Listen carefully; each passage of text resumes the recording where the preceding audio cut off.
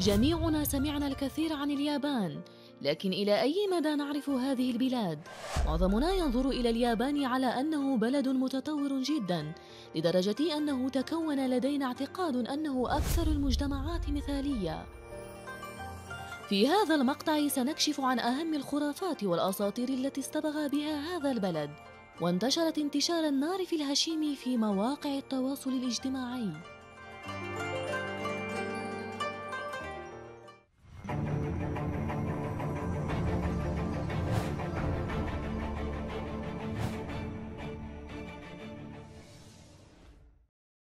فتح موقع نيبون هاشتاغ خرافات عن اليابان على حسابه الناطق بالعربية على تويتر لكشف الالتباس الحاصل لدى العرب عن اليابان منذ ما يقرب من عام.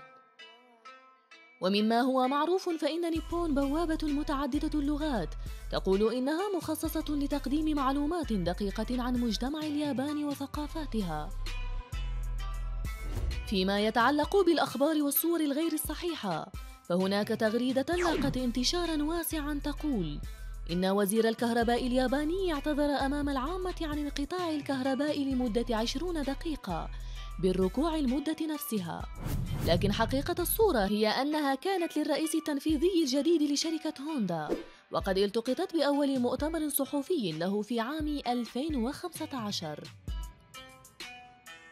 وما كان من الحسن إلا تصحيح تلك الخرافة المضللة بإعادة نشر التغريدة نفسها والتعريف بموضوعها على نحو صحيح.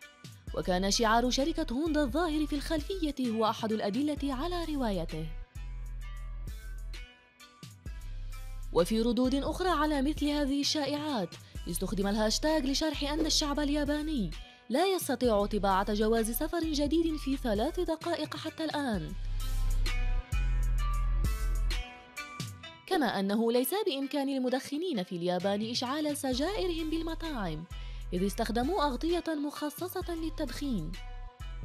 وردا على هذه الشائعة نشر على الهاشتاج إياه تغريدة قيل فيها إن هذه الصورة قد انتشرت على نطاق واسع على اعتبار أنها من اليابان وهي لا علاقة لها باليابان تماما.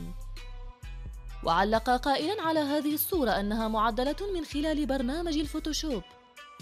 وتم نشرها منذ عدة سنوات من قبل أحد المواقع الساخرة الذي يقول أنه بإمكانك تدخين الماريجوانا في أحد فروع ماكدونالدز بولاية كولورادو. ونفت صحيفة واشنطن بوست الأمريكية صحتها. نشر تلك المعلومات الخاطئة والأساطير الغير الصحيحة ليس من باب السخرية والاستهزاء بل إنها أحد أوجه الاحترام المفرط لليابان في معظم البلدان العربية. ليس من الغريب العثور على عبارات مثل كوكب اليابان على الشبكات الاجتماعية العربية. عندما ينشر المستخدمون حقائق مرحة تعجبهم بشأن البلد ويعنون بتلك العبارة أن البلد متقدم تكنولوجيا وثقافيا لدرجة أنه قد يكون على كوكب آخر. ومن بين الخرافات التي لم يظنها البعض هكذا هو أنه يوجد يوم للمعلم في اليابان يقوم خلاله الطلاب بغسل أقدام معلميهم.